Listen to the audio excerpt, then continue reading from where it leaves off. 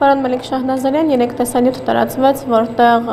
կարծես ադրբեջանցու ձայնը պատմում էր, որ Հայաստանի ԱԱԾ-ն լավ չի աշխատում, ցույց էր տալիս հայկական փողոցներ, կառույցներ, հավատում եք, որ սա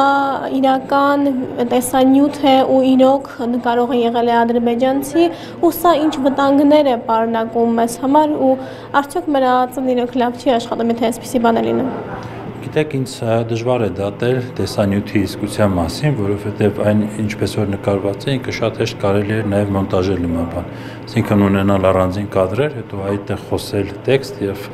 ամենեն դնել։ Կարծում եմ տեխնիկապես դա դժվար չի, բայց նաև չեմ բացառում, որ իսկապես հնարավորություն ունեցած լինի Ադրբեջանիցի կամ ամենայն հավանականությամբ ոչ քաղաքացի Ադրբեջանի լինել Երևանում եւ նման տեսանյութ անել։ Իհարկե տեսանյութի արկայության փաստից միայն խոսել անվտանգության ծառայության աշխատանքների, այսպես աս անարդյունավետության մասին սխալ կլիներ, որովհետև ամենայն դեպս Հայաստանը այն երկիրը չէ, որտեղ փակ է տոտալ ադրբեջանական ամեն ամեն բան կարող է լինել ցանկացած այլ երկրի քաղաքացի Իրանի, Ռուսաստանի եւ հանգիստ գալ եւ որևէ խնդիր չառաջացնել։ Դրա համար չէի անի դատողություն, բայց զգուշության կամ զգուշավորության կոչ իհարկե այստեղ պարտադիր է պետք է անել, նաև հաշվի առնելով այն փաստը, որ նման մի տեսանյութ տարածելը ըստ էության լուրջ իրարանցում է առաջացնում հայ հանրության մեջ, ես տեսա երկու օր շարունակ սոցիալական ցանցերում դա հիմնական քննարկվող թեմաներից մեկն է եւ պատճառներից մեկն էլ այն է, որ ժամանակին պաշտոնական պատասխան կամ մեկնաբանություն, թե դա իրականում ինչ տեսանյութ է, ինչպես կարող էր հայտնվել, ով էր առաջինը դա ցանցում տեղադրել եւ այլ նման մեկնաբանություններ չկային։ Եվ սա արդեն իսկապես անվտանգության հարց է, որովհետև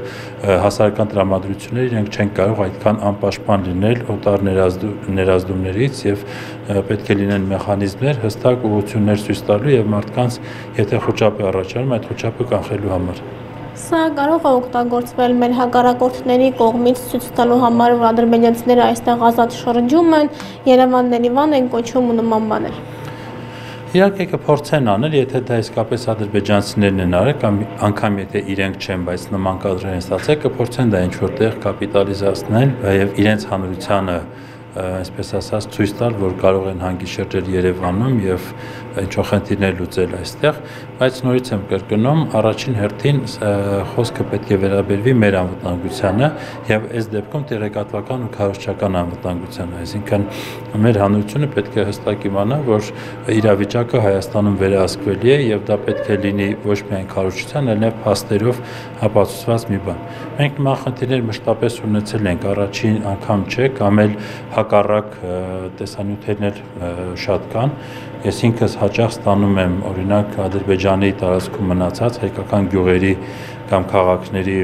փողոցների լուսանկարներ, կադրեր եւ այլն, որոնք արվել են օրինակ Ռուսաստանաբնակ հայերի ֆինանսավորմամբ, այսինքն մարդ են գտնում, ով գնում եւ դա նկարահանում եւ վերում։ Այսինքն երևույթը ինքնին ինչ որ բացառիկ մի բան չէ, բայց երևույթի հետևանքներն են, որ պետք է վերահսկելի լինեն եւ կանխատեսելի լինեն, ու հա այստեղ է որ լուրջ աշխատանք ունեն տանելու, այդ թվում նաեւ անվտանգության ծառայության աշխատակիցները